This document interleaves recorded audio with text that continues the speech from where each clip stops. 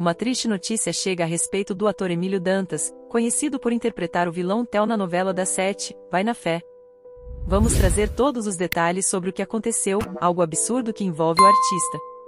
Emílio Dantas está atualmente no ar na novela Vai na Fé, uma produção exibida pela Rede Globo de televisão no horário das 19 horas, e que tem sido um grande sucesso. O último capítulo da trama será exibido hoje, marcando o desfecho do personagem interpretado por Emílio Dantas. Por favor, antes de continuarmos, peço sua contribuição, pois o nosso canal está parando. Não deixe isso acontecer, compartilhe com alguém nossas notícias e nos apoie com o seu like e inscrição. Isso é muito importante. Desde já eu te agradeço, obrigada. No entanto, como frequentemente acontece, algumas pessoas acabam confundindo a ficção com a realidade, e isso pode ter consequências negativas para os artistas. É o caso de Emílio Dantas, que enfrentou uma situação desconfortável devido às reações dos telespectadores.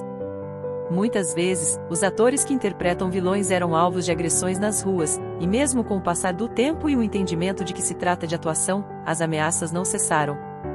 De acordo com informações divulgadas pelo site Notícias da TV, Emílio Dantas relatou que, antigamente, os atores que interpretavam vilões eram alvo de agressões físicas nas ruas. No entanto, mesmo agora, em uma era em que as pessoas têm mais conhecimento sobre a diferença entre realidade e ficção, as ameaças persistem.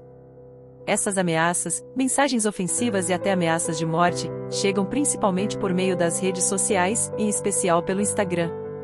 Emílio Dantas contou que, apesar dessas situações desagradáveis, ele tenta manter o bom humor e até rir da situação.